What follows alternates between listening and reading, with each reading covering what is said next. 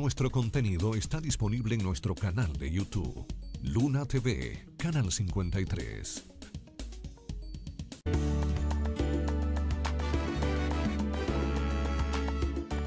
Continuamos en Buenos Días RD por Luna TV, Canal 53, en este viernes 4 del mes de febrero.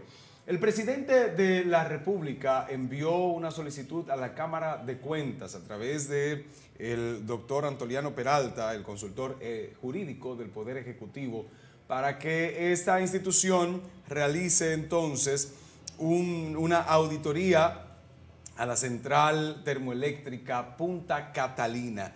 El gobierno dominicano recibió los resultados de la auditoría técnica de esta eh, central que efectuó la firma estadounidense Sargent Lundy, eh, adjudicataria eh, mediante previo proceso de licitación pública. Entonces, ahora se le agrega adjunto a esta, a, este, a esta auditoría técnica la solicitud para que la Cámara de Cuentas haga una auditoría financiera de Punta Catalina desde sus inicios hasta el 31 de diciembre del 2021, o sea, hace un mes y algo. O sea, que vamos a esperar entonces qué va a pasar. Vamos a escuchar al doctor Antoliano Peralta, consultor jurídico de la presidencia, del Poder Ejecutivo, eh, quien entrega esa solicitud a la Cámara de Cuentas. Veamos.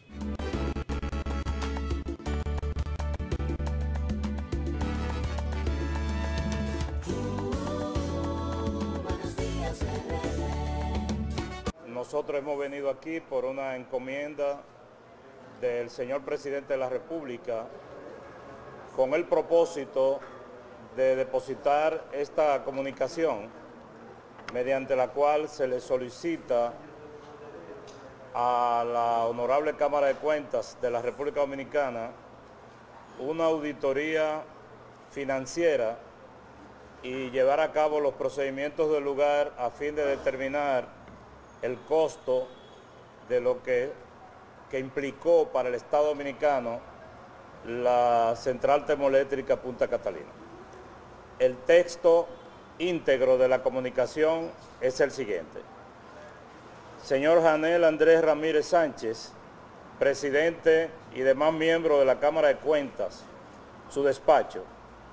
Asunto, solicitud de auditoría financiera a Central Termoeléctrica Punta Catalina y determinación de costo financiero. Distinguidos miembros, el gobierno dominicano está recibiendo los resultados de la auditoría técnica que sobre la Central Termoeléctrica Punta Catalina efectuó la firma estadounidense Sargent y Lundi, adjudicataria mediante previo proceso de licitación pública. Por lo tanto, cumplido ese requisito precedente, en ejercicio de las atribuciones que me confieren la Constitución y las leyes de la República Dominicana, estamos solicitando a esa Cámara de Cuentas la realización de una auditoría financiera sobre dicho activo que abarque hasta el día 31 de diciembre del año 2021. Al mismo tiempo, les requerimos llevar a cabo los procedimientos de rigor a fin de determinar el costo financiero que significó para el Estado Dominicano la construcción de la referida obra. La presente solicitud responde a la línea asumida por este gobierno en el sentido de cumplir y hacer cumplir los principios de transparencia, publicidad y juridicidad.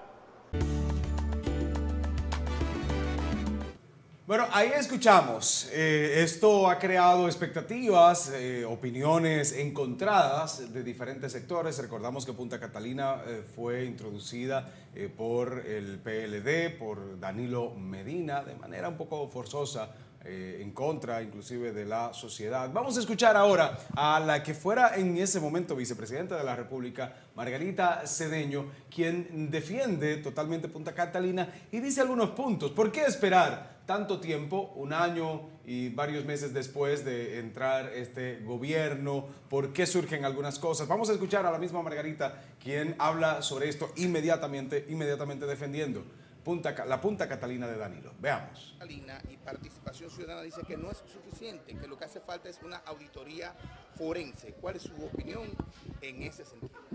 Bueno, yo pienso que debió de haberse hecho desde el principio, sobre todo si tenía la intención de eh, venderla y ponerla en manos del sector privado, de forma tal que pues pudiese eh, tal vez eh, blindarse y no sé, buscar alguna excusa, pero yo creo que de todas formas no es más que una manera de distraer la atención y de desviar lo que ha sido el clamor de la opinión pública. Punta Catalina es un bien del Estado, es un bien además que resulta ser muy productivo para toda la población y que también nos ayuda a reducir los costos y es un tema hasta de seguridad energética. Así es que con eso lo que se busca es disminuir eh, el, clamor popular y, donde le hemos eh, casi eh, obligado a que eche para atrás esa operación que resulta ser totalmente descabellada y que tendría que ser mejor explicada a todo el país y que sea hecho de una manera transparente, eh, como lo que el gobierno pregona, y que pues eh, se note cuáles van a ser las ventajas para el pueblo dominicano, porque esa es una inversión de todos nosotros a través de nuestros impuestos. Así fue como se pagó esa planta generadora de energía eléctrica. Y una cosa, se habla de gerencia, pero si no tienen quien se la pueda gerenciar de manera eficiente, pues ahí está Jaime Aristi Escuder, que no puedo decir que se lo vamos a prestar porque... Bueno, ahí está Jaime Aristi Escuder, dice Margarita, Jaime Aristi, que fue parte de la comisión que iba a eh, estudiar si Punta Catalina había sido o, no, había tenido alguna irregularidad el momento de la licitación y de todo el proceso. Pero recordamos que Jaime Aristi Escuder eh, respondió al gobierno de Danilo Medina. No creo que sea opción para Luis Abinader eh, tener a Jaime Aristi Escuder como administrador de Punta Catalina. Sin embargo, Margarita tiene razón en el por qué no se hizo desde el principio. Inmediatamente entró el gobierno de Luis Abinader. Debió solicitarse la auditoría. En eso estamos completamente de acuerdo porque se supone que ya se tenía la expectativa. El PRM había, cuando era oposición, había hablado sobre Punta Catalina y eh, qué pena que no, no realizaran esto inmediatamente. Miren, eh, hay un caso penoso, eh, preocupante.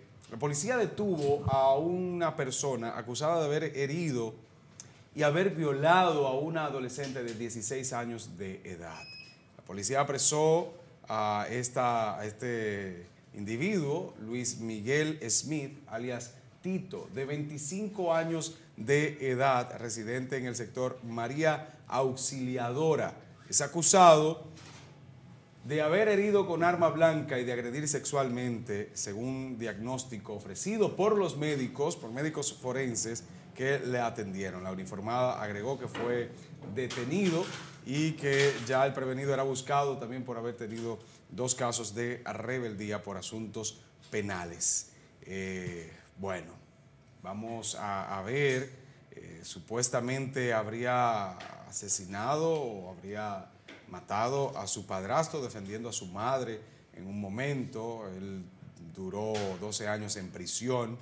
Eh, bueno, en San Carlos en el 2020, pero entonces ¿qué hacía suelto? Esto, es un poquito confuso, un poco confuso. Eh, vamos a darle seguimiento a este caso. Vamos a darle seguimiento a este caso porque está, está bastante complejo. Había sido condenado a 12 años en el 2020, pero estaba libre eh, condenado por haber, eh, haberle propinado varias estocadas a su padrastro, defendiendo a su madre. Y hay que ver exactamente el contexto.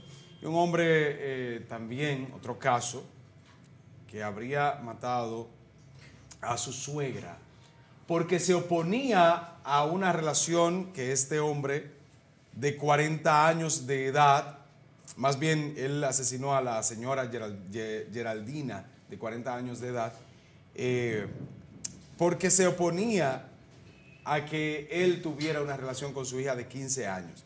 Alberto Medina estaba en compañía de dos sujetos que trataron supuestamente de secuestrar a la menor, la señora se opuso, y él le propinó varios balazos. Eh, esto está en manos de la policía, se colectaron varios casquillos de un arma de fuego, porciones de droga también. Esto está descontrolado. La situación con las menores de edad en el país y a veces lo que le permiten las, las familias, lo que hacen los adultos, se supone que hay una ley y ahí hemos estado flojos.